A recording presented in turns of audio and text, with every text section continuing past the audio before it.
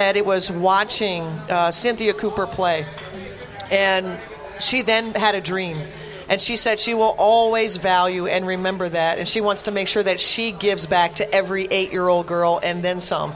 Uh, and also think it's very important for boys, you know, for your son uh, to, to see whether he, you know, is there for the basketball or, or, or other reasons. It's he's now going to accept that women are playing professional sports and it normalizes for him women in positions of leadership women playing sport and and both of them are incredibly valuable.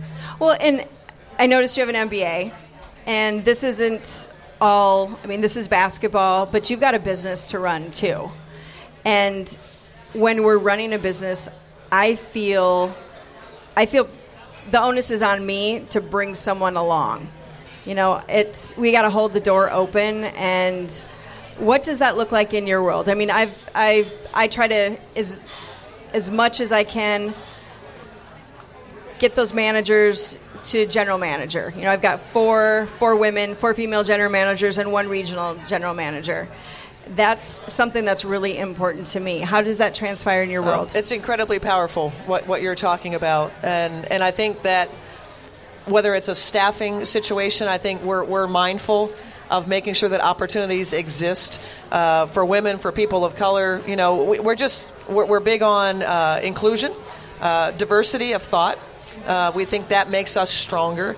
And then I think with regard to our players, it's it's allowing them, giving them a platform. You know, so moving them is not just helping them improve their shot or do something basketball wise. It's helping them to become the fullest person that they're trying to become.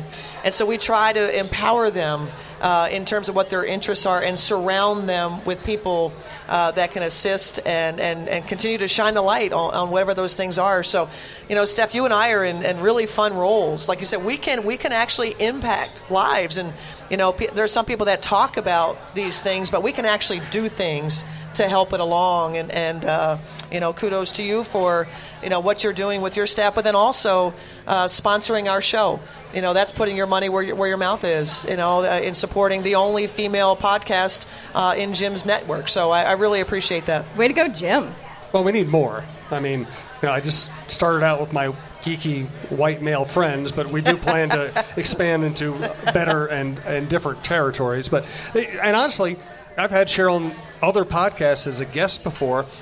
And frankly, who wouldn't? I mean, exactly, really. well, well, she was always the best guest we ever had, but I never really thought a four-time WNBA champion would do a, a regular show, and I was just finally I just asked, which is what you should always do in journalism or in life. Just ask the stupid question, and she said yes. I was like, oh, why didn't I do that a year ago? So well, I, why would I not? I, I think you know, you know You're how busy. I. that's why. Well, well, you know, but you have to make time for these things. I, I can't be the person that says we don't get enough coverage, we don't get enough of a voice, and then when you ask me to provide a voice, I can't say no. Uh, so I think you have to make time for those things. You know, just like with the players, it's more than just playing. For me, it's more than coaching, and this is an opportunity to, to, to be that, to you know, to use our voices in a variety of ways. So I appreciate that you made the ask. Do you have another question? No pressure. How do, how, yeah, I do. how, you know, there are several other franchises in town.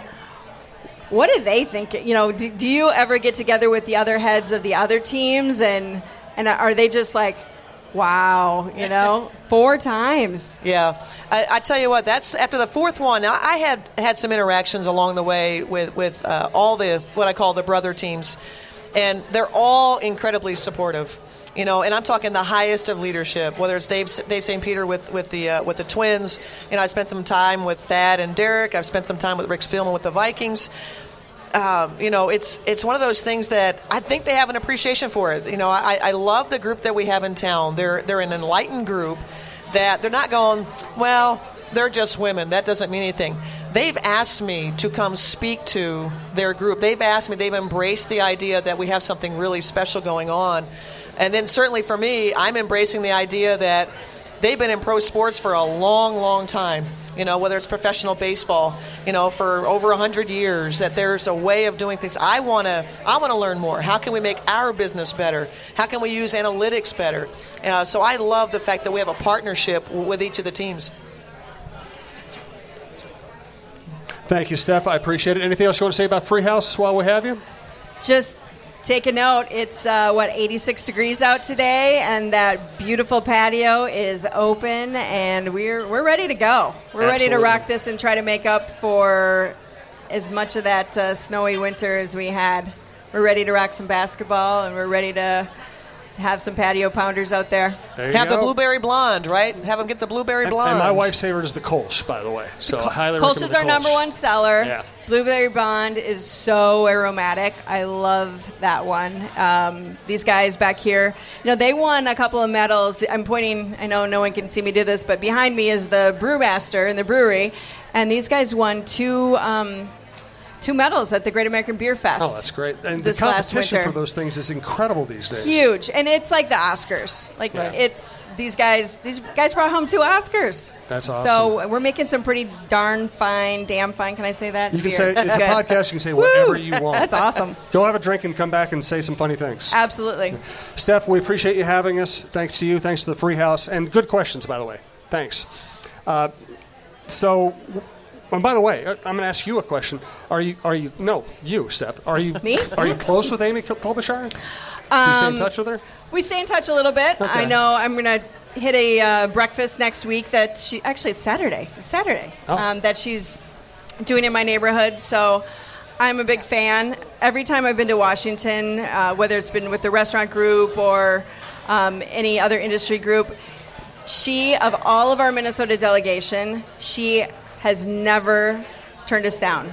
Always made Wow. time, even if it's popping out of committee out in the hallway, and I only got five minutes for you, or I got 15 minutes, but I won't. Um, I won't say names, but there's so many of our people who don't have time for everyday people like me. Yeah. And you know, it's it's it matters. It really matters. She is the hardest working, got to be one of the hardest working senators out there, and certainly representing us well. I, obviously, I don't know her well, but I know. Obviously, I worked with her dad when I first got to town, and she. Just, the times I've talked to her, I'm just incredibly impressed. So, If I were in a fight, I'd want her in my yeah, corner. That's right. Thank you again, Steph. We'll talk again soon. Uh, the next show, by the way, at the Free House will be June 11th. We haven't set an exact time, but it'll probably be a happy hour ish show. Follow us on social media to get updates on exact times. We'll be doing another three shows at least at the uh, Free House. Again, North Loop, right off Washington, patio, restaurant, bar, etc. You mentioned uh, taking a social lead. I do find it really interesting that it's basketball coaches who are willing to say, "This is what I think. This is what I stand for. Hate me if you want." Whether it's Steve Kerr, Gregg Popovich, Stan Van Gundy, you, the Lynx players. Why is that? Well, to be very frank, I think we, we have a more progressive culture. Um, you know, I think there's been some turnover in, in terms of ownership. I think we've got a different mindset at the, at the league the league office. You know, in, in Adam Silver. Um, so I think I think we're taking the lead and we're you know taking bold steps and bold actions. Uh, Adam Silver is far more in tune to an NBA player, a WNBA player, than I believe that Roger Goodell is with the NFL players. But hold on, I see Roger Goodell hugging his best friends during the draft. It's, those are very real, very deep relationships. Yeah, yeah, those are great photo ops. uh, but but no, I mean I think it's you know I mean just look at some of the ownership uh, in the NFL and, and, and their their positions. Um, you know you, you have something like the like the, the Philadelphia Eagles who are very supportive of their players, and then you have And funny, it didn't keep them from winning a championship. it, it- you notice that? That's right. So yeah, it does, it does not get in the way, and I think that they sold out. I sold out the uh, the, the Lincoln Financial. I think Mm-hmm. uh, on every occasion. So uh, that's just an excuse, you know, to, to to use something like that to say that we can't because we're afraid of the fans' backlash. They would be surprised, uh, I think, of how much support and, and how much respect. Um, at the end of the day, I know fans want to watch the game, whatever it is, whether it's football or basketball, and we all want to play, you know, play and coach the game. But we're all people too, and, and we're all in this together. And uh, I just think it makes sense for an owner to uh, to to be in touch. Uh, with their employees, whether that's in, in sport or whether that's in corporations, and you know, to stand up on a pulpit and, and hand down and say you will do these things, that's not going to be a successful franchise. One topic at Media Day today was, and I asked some of the questions I'm interested in it, how do you get players to come here? It seems like you have made the Lynx a destination for free agents. Uh, is that just the resume? Is that the way you treat people? Is that uh, an outreach by your current players? How does that work? Well, I would say the number one reason why players want to come here is the, the players that we have here. We, we have uh, Seimone Augustus, who was here before all of us got here. Uh, Seimone is like the easiest going superstar there ever was. Lindsay Whalen, incredibly humble. Rebekkah Brunson has more championships than any other player in the league. Incredibly humble, only wants to win, doesn't care who gets the credit. Sylvia Fowles came here because she shared that, that mindset. At the end of the day, you know, in addition to having a great owner, a great fan base, uh, tremendous facilities. Those are all important things. But the most important one is who are they going to share the locker room with? Who are they going to be in the trenches with all the time? And I think that our players uh, have earned a reputation of just being uh, great to be around, tremendous people, tremendous teammates, uh, and that, that we're willing to share the load. We don't, we don't care who gets the credit. We do have a microphone up here. If anybody wants to come up and ask a question, feel free to do so at any time. Uh, feel free to interrupt us because we're not that important. It's okay. Uh, we have a live question. Excellent.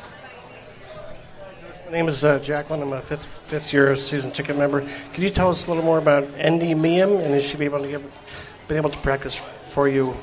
Yeah. yeah, thanks for your question. Thanks Very informed here. fan. I Appreciate it. that. To understand our roster, that we have a, a player that we signed in the offseason. It was a French post player that uh, her name is Endy Miyem. She and Cecchi Zandalasini uh, was the you know the Italian that we signed last year. They play on the same team in Italy in Schio, and they just completed their their playoffs. Unfortunately, it went to a five game series. Uh, we sat in our office uh, after game three, or you know for game three, hoping they were going to get a sweep. Didn't happen. Game four, I'm sorry, yeah, then game four didn't happen, and so we thought, okay, well, you know, we, we'll get a couple days with her. We're very well versed in her game in that uh, internationally. So James Wade, my assistant coach, uh, is, is closely tied with, with the French. He's, his wife is, is from France, and so he's very closely tied. But then I also had experience internationally with USA Basketball, so I've seen Endy. But what we don't know is how Endy is going to perform in the WNBA. And I think that's always a thing that kind of makes you, you know, uh, unsure. Can they? Can she do exactly the same thing she did for Schio and then she does for the French national team? I hope. Uh, and so we literally today was her first day. She and Chechi landed yesterday. Uh, they came down to, to Glenn Taylor's with us, so that was their, their first day to go enjoy uh, you know great lasagna dinner put on by by Becky Taylor and great team team bonding. Um, now, Endy knows probably three, four of the players, so there's some familiarity. Seimone actually played with Endy, and so Seimone is excited about the signing. And, and, and that's big. You know, whenever Seimone agrees with you, you're in business. So, you know, we, we were happy to, to get her to sign off on that. Uh, at the end of the day, we're going to find out very soon. We've got three days before we play. And so we've got, we've, you know, we, we've got to get her up to speed in a hurry. We need her. Uh, we put a lot of eggs in her basket, and, and we'll see how it works out. Thanks for the question. Appreciate it. Does she have a, does she have a contract? She, yeah, we, we signed her. So she's a, she was signed as a free agent. So she is on a uh, training camp contract. So uh, rosters are due at 4 p.m. tomorrow. We have practice. So if she's really bad, we might just cut her. I'm just kidding. I'm just kidding. We're not going to do that. Yes, ma'am. Hi, and thanks to both of you. I really love this podcast. Um, Thank you. Sidestep to a slightly different topic. Thoughts on Minnesota Whitecaps signing with the NWHL? Great question. Love, love Thank you. obviously. You. know, you, you know I would be thrilled. Um, any chance that we get to add a women's professional team here locally for our community, I think is, is, is a wonderful thing. It's, it's progress. I think one of the things I've enjoyed about Minnesota, I didn't necessarily know that uh, when I wasn't here. It was more when I was going to be moving here. I learned more about the area uh, and how progressive it is. And I mean, heck, we had Jesse Ventura, a former wrestler, as a, as a governor. So, you know, I thought this has got to be a really cool area. And so I learned a lot uh, ab- about uh, what works here, uh, that, that uh, there, there is a fair amount of um uh, support of women, you know, un- unlike in, in some other areas. And so, and then you add that with hockey. You know, why would there not be a women's hockey team in Minnesota, right? So I think it's an incredibly exciting time uh, for Minnesota fans to uh, to now get behind another team, and to think that the number of girls that are playing hockey at a young age, like Lindsay Whalen did when she was a youngster, to now have a dream that they can maybe possibly play professional hockey. What what a wonderful day! Do you have any advice for that team or that league? Yeah, you know, uh, something that I think the